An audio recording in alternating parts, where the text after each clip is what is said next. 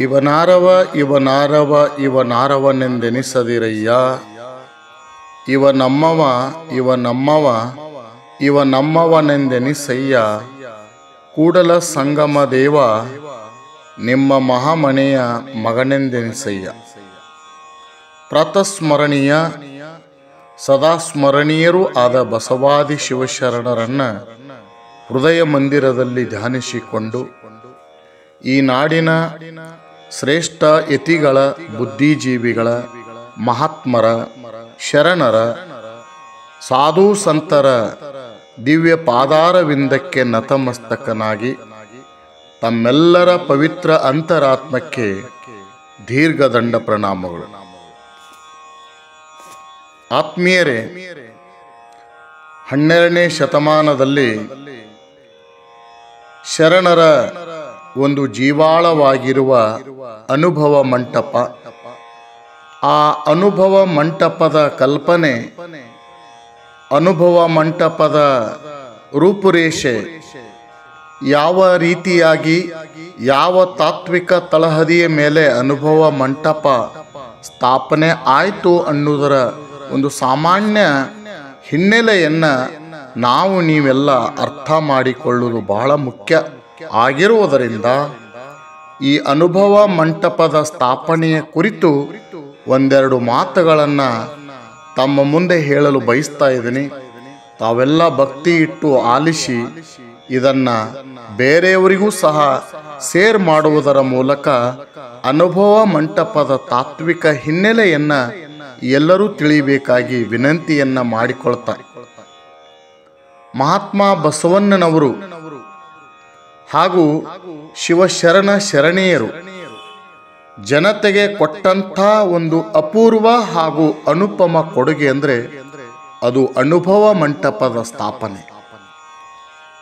ಅನುಭವ ಮಂಟಪದ ಕಲ್ಪನೆ ಅದು ಬಹಳ ನವೀನವಾದದ್ದು ಹಾಗೂ ನಿತ್ಯ ನೂತನವಾದದ್ದು ಅನುಭವ ಮಂಟಪದ ರಚನೆ ಯಾವ ಕಲ್ಲು, ಮಣ್ಣು, ಗಾರೆ, ಕಟ್ಟಿಗೆ, ಕಬ್ಬಿಣಗಳಿಂದ ಅದು ರೂಪುಗೊಂಡುದಲ್ಲ. ಅಥವಾ ವಿಶಾಲವಾದ ಭೂಪ್ರದೇಶವನ್ನ ಆಕ್ರಮಿಸಿ ರಚನೆ ಮಾಡಿದ್ದೂ ಅಲ್ಲ. ಅಲ್ಲಿ ಊಟ, ವಸತಿಗಳ ಸೌಕರ್ಯಗಳನ್ನು ಏರ್ಪಡಿಸಿ ಮಹಾ ಮಹಾ ಉಪ ಉಪೋಧ್ಯಾಯರನ್ನ ಮಹಾ ಉಪಾಧ್ಯಾಯರನ್ನ, ಪ್ರಾಚಾರ್ಯರನ್ನ, ಆಚಾರ್ಯರನ್ನ ನೇಮಕ ಮಾಡಿದ್ದೂ ಅಲ್ಲ. ವೇದ, ಉಪನಿಷತ್, ಗೀತೆ ಇಂಥ ಹತ್ತು ಹಲವಾರು ಪಠ್ಯ ಪುಸ್ತಕಗಳನ್ನು ನಿರ್ದೇಶನ ಮಾಡಿ, ಜ್ಞಾನಬೋಧೆಯನ್ನು ಮಾಡಿ, ತರ್ಕ, ವಿತರ್ಕ, ವಾದ ವಿತ್ತಂಡಗಳಲ್ಲಿ ತೊಡಗುವಂಥ ಸಂಸ್ಥೆನೂ ಅದಲ್ಲ. ಕೇವಲ ಆಧ್ಯಾತ್ಮ ಬೋಧನೆ, ಶೋಧನೆ, ಸಾಧನೆಗಳಲ್ಲಿ ತೊಡಗಿ ದಿನದ ಎಲ್ಲ ಸಮಯವನ್ನ ಕಳೆದು ತಮ್ಮ ಪೋಷಣೆಯ ಭಾರವನ್ನ ಇನ್ನೊಬ್ಬರ ಮೇಲೆ ಹೇರಿ ಜೀವಿಸುವಂಥ ಆಧ್ಯಾತ್ಮವಾದಿಗಳನ್ನು ನಿರ್ಮಾಣ ಮಾಡುವ ಉದ್ದೇಶ ಅನುಭವ ಮಂಟಪದ ಪ್ರವರ್ತರಿಗೆ ಇರಲಿಲ್ಲ. ಜ್ಞಾನದ ದಾಹದಿಂದ ಗುರುಗಳನ್ನು ಹುಡುಕಿಕೊಂಡು ಬರುವಂಥ ಜಿಜ್ಞಾಸುಗಳಿಗೆ ಸಾಧಕರಿಗೆ ಅನುಕೂಲವಾಗುವಂತೆ ಎಲ್ಲ ಸೌಕರ್ಯಗಳನ್ನು ಮಾಡಿಕೊಟ್ಟು ವಿಶ್ವವಿದ್ಯಾಲಯಗಳನ್ನು ನಡೆಸಿದ ಉದಾಹರಣೆಗಳು ನಮ್ಮಲ್ಲಿವೆ. ಮೊದಲು ಅಂದರೆ ಪೂರ್ವ ಕಾಲದಲ್ಲಿ ಋಷಿ ಆಶ್ರಮಗಳು, ಅಗ್ರಹಾರಗಳು, ಘಟಿಕಾಪುರಗಳು ಇವೆಲ್ಲವುಗಳು ಇದ್ದವು. ಅಲ್ಲಿ ಶಿಕ್ಷಣವನ್ನು ಕೊಡುವಂಥ ಕೊಡಿಸುವಂಥ ಒಂದು ವ್ಯವಸ್ಥೆ. ಇತ್ತು. ನಂತರದಲ್ಲಿ ಉತ್ತರದಲ್ಲಿ ನಲಂದ, ದಕ್ಷಿಣದಲ್ಲಿ ತಾಳಗುಂದ ಪಟ್ಟದಕಲ್ಲು ಇವೆಲ್ಲ ವಿಶ್ವವಿದ್ಯಾಲಯಗಳ ಉಲ್ಲೇಖಗಳು ಬರ್ತವೆ. ಅಲ್ಲಿ ಒಂದು ಶಿಕ್ಷಣದ ವ್ಯವಸ್ಥೆಯನ್ನ ಮಾಡಿಕೊಂಡು ಬಂದರು. ಇವು ಅಲ್ಲದೆ ಜ್ಞಾನ ಸತ್ರವನ್ನು ಚರ್ಚೆಯನ್ನು ನಡೆಸುವುದಕ್ಕಾಗಿ ಸಂಘಗಳನ್ನು, ಸಭೆಗಳನ್ನ ರೂಪುಗೊಂಡುದನ್ನ ನಾವು ಓದಿದ್ದೇವೆ. ಜನಕರಾಯನ ಒಡ್ಡೋಲಗ ಜೈನರ ಸಮವಸರಣ, ಪರ್ಸಿಯಾ ದೇಶದ ಸೂಪಿಸಂ, ತಮಿಳುನಾಡಿನ ಸಂಗಮ್ ಹಾಗೂ ಅಕ್ಬರನ ಕಾಲದ ಒಂದು ಧಾರ್ಮಿಕ ಸಂಸ್ಥೆ ದಿನ್ ಇ ಇಲಾಹಿ ಇವೆಲ್ಲ ಸಂಸ್ಥೆಗಳು ಸತ್ಯ ಶೋಧನೆಯಲ್ಲಿ ತೊಡಗಿರುವಂಥದ್ದು ಚರಿತ್ರೆಯ ಒಂದು ಭಾಗವಾಗಿವೆ. ಇಂಥ ಸಂಸ್ಥೆಗಳು, ಧಾರ್ಮಿಕ ಸಂಸ್ಥೆಗಳು ಒಂದು ಕಾಲ ದೇಶ ಸ್ಥಾನಗಳಲ್ಲಿ ರೂಪುಗೊಂಡು ಕೆಲ ಕಾಲ ಬಾಳಿ ಆ ಧಾರ್ಮಿಕ ಸಂಸ್ಥೆಗಳಿಗೆ ರಾಜಾಶ್ರಯ ತಪ್ಪಿದಾಗ ರಾಜರ ಆಶ್ರಯ ಇಲ್ಲದೆ ಹೋದ ಸಂದರ್ಭದಲ್ಲಿ ಆ ಧಾರ್ಮಿಕ ಸಂಸ್ಥೆಗಳು ಹಾಳು ಬಿದ್ದು ಹೋದವು ಅನ್ನೋದು ಇತಿಹಾಸ. ಏಕೆಂದರೆ ಇಂಥ ಧಾರ್ಮಿಕ ಸಂಸ್ಥೆಗಳಲ್ಲಿ ಭಾಗವಹಿಸುವಂಥ ಬುದ್ಧಿವಂತರು, ಪಂಡಿತರು, ಅದೆಷ್ಟೋ ಕಲಿಯುವಂಥ ಒಟುಗಳು ಸನ್ಯಾಸಿಗಳು ತಮ್ಮ ಉದರ ಪೋಷಣೆಗಾಗಿ ಬೇರೆಯವರನ್ನೇ ಅವಲಂಬಿಸಿದರು. ಸ್ವತಃ ದುಡಿಯದ ಈ ವಿದ್ಯಾರ್ಜನೆಯ ದಾಹವಿರುವಂಥ ವರ್ಗವನ್ನು ಸನ್ಯಾಸಿ, ಭಿಕ್ಷುಗಳ ಉದರ ಪೋಷಣೆಯ ಭಾರವನ್ನು ಹೊರದಷ್ಟು ಹೊರೆಯಾಯಿತು ಈ ದೇಶಕ್ಕೆ. ಅದಕ್ಕಾಗಿ ಇಂಥ ಸಂಸ್ಥೆಗಳು ಬಹಳಷ್ಟು ಕಾಲ ಚಿರಕಾಲ ಬಾಳಲಿಲ್ಲ, ಆಗ ಜ್ಞಾನದ ಪ್ರಗತಿ ಕುಂಠಿತ ಆಯಿತು. ಆದರೆ ಅನುಭವ ಮಂಟಪದ ಕಲ್ಪನೆ ಅದು ಬೇರೆ, ಅದರ ರೂಪುರೇಷೆಯೇ ಬೇರೆ. ಅದರ ಅಂತಸತ್ವವಂತೂ ತೀರಾ ವಿಭಿನ್ನ. ಕಾಲ, ದೇಶ, ಊರು, ವ್ಯಕ್ತಿಗಳನ್ನು ಮೀರಿ ಬಾಳಬಹುದಾದಂಥ ಒಂದು ಹೊಸ ಯೋಜನೆಯನ್ನ ರೂಪಿಸಿದವರು ಶರಣರು. ಅಂಥ ಒಂದು ಸಂಸ್ಥೆಗೆ ಅನುಭವವೇ ಪ್ರಮಾಣ. ಹಿಂದಿನ ಯಾವ ವೇದ, ಉಪನಿಷತ್ತು, ಶಾಸ್ತ್ರ, ತರ್ಕ, ದರ್ಶನ ಎಲ್ಲ ಗ್ರಂಥಗಳು ಅವರಿಗೆ ಬೇಕಿರಲಿಲ್ಲ.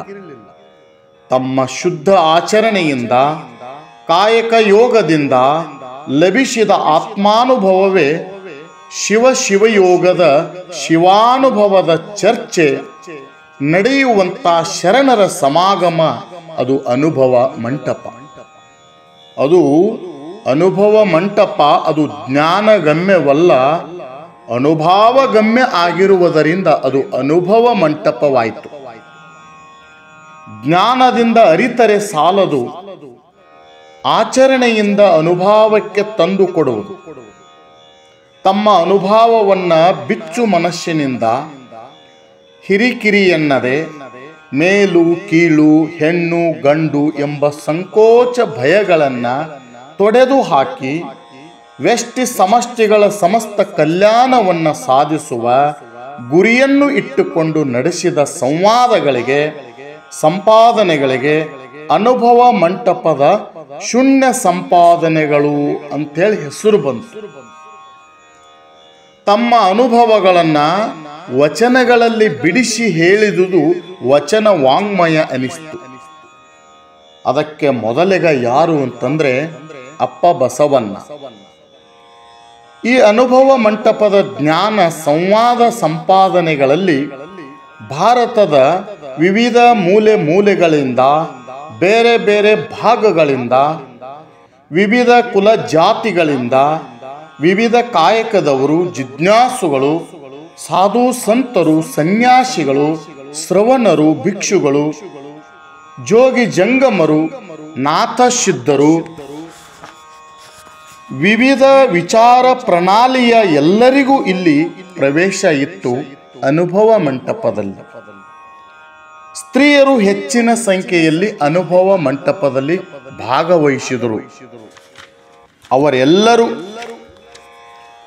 ಆಚರಣೆಯ, ಅವರೆಲ್ಲರ ಒಂದು ಆಚರಣೆಯ ಸಾಧನೆಯ ಕ್ರಮಕ್ಕೆ ತಮ್ಮನ್ನು ತಾವು ಒಳಪಡಿಸಿಕೊಂಡರು.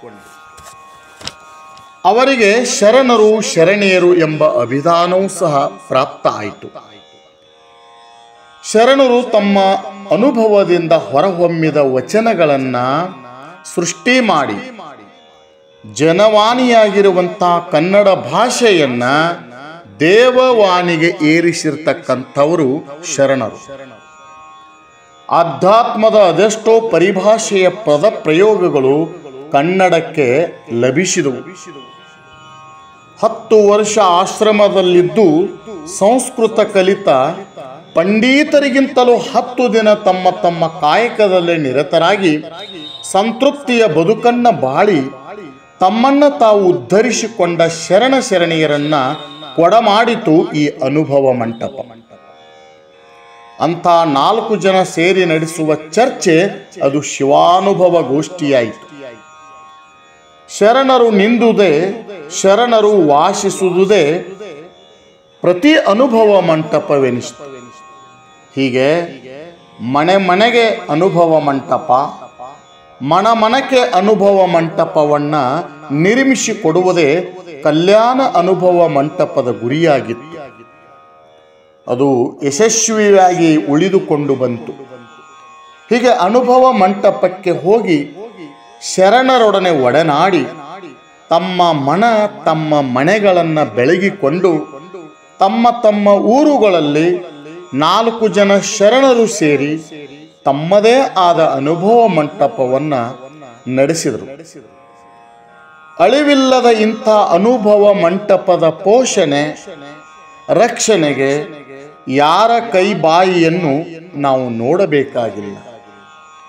ಇಂಥ ಅನುಭವ ಮಂಟಪವನ್ನ ಸ್ಥಾಪಿಸುವುದರ ಮೂಲಕ ಜಗತ್ತಿನ ಈ ನಾಡಿನ ಜನರಿಗೆ ಜ್ಞಾನದ ಬೆಳಕನ್ನ ಹಚ್ಚಿಸಿರತಕ್ಕಂಥವರು ಶರಣರು, ಅಂಥ ವಿಶಿಷ್ಟ ತಾತ್ವಿಕ ಹಿನ್ನೆಲೆ ಉಳ್ಳ ಈ ಅನುಭವ ಮಂಟಪದ ಕುರಿತು ತಾವೆಲ್ಲರೂ ಅರಿತು ಅಧ್ಯಯನ ಮಾಡಿ ಅಲ್ಲಿ ಹೊರಹೊಮ್ಮಿರುವಂತಹ ವಚನ ಸಾಹಿತ್ಯಗಳನ್ನು ಅಧ್ಯಯನ ಮಾಡುವುದರ ಮೂಲಕ, ತಮ್ಮ ಜೀವನದಲ್ಲಿ ಅಳವಡಿಸಿಕೊಳ್ಳುವುದರ ಮೂಲಕ ತಮ್ಮ ಬದುಕನ್ನ ಸುಂದರ ಮಾಡಿಕೊಳ್ಳಬೇಕು ಅನ್ನುವ ಭಿನ್ನಹದೊಂದಿಗೆ ನನ್ನೆರಡು ಮಾತುಗಳಿಗೆ ವಿರಾಮ ನೀಡುತ್ತೇನೆ.